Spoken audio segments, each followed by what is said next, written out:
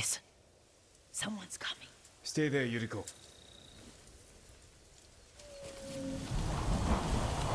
Let's see if this poison works. He will regret what he did to Sadamune and the others.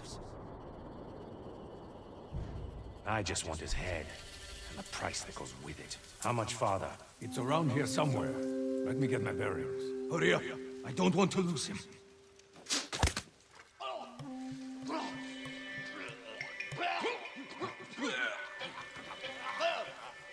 笑他死。